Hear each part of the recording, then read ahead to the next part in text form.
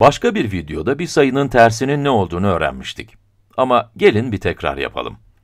Diyelim elimizde pozitif bir sayı var. Evet, ne yapacağız?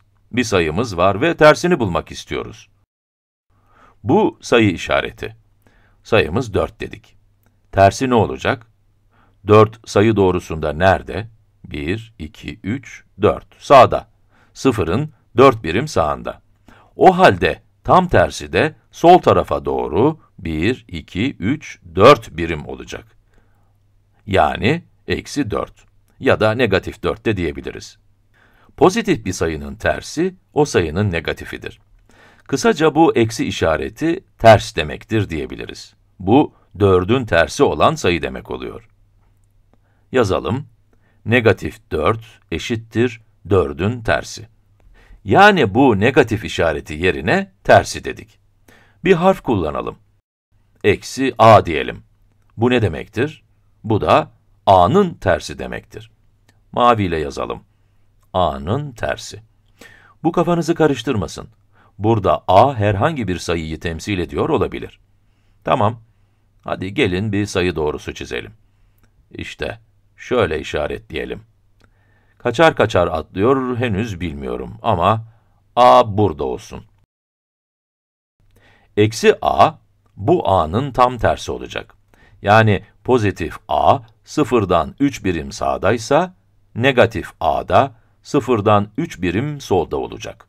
1, 2, 3. Yani a'nın tersi burada olacak. Buraya da yazalım, a'nın tersi. Ya da kısaca negatif a diyebiliriz. Bunu aklınızda tutun. Şimdi ilginç bir şeyler yapacağız. Peki size soru.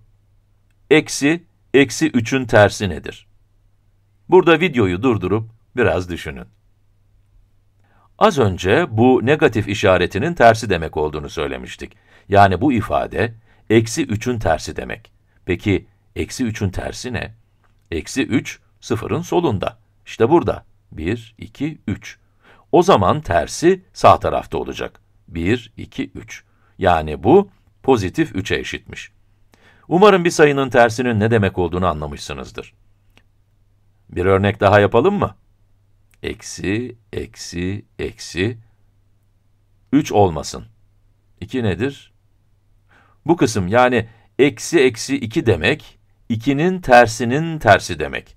Yani burası 2 olacak, değil mi? Yani her tersi dediğimizde sayı doğrusunda öbür tarafa geçeceğiz. Önce soldan başlıyoruz, sonra tekrar sağa gidiyoruz, değil mi? Burası 2 oluyor.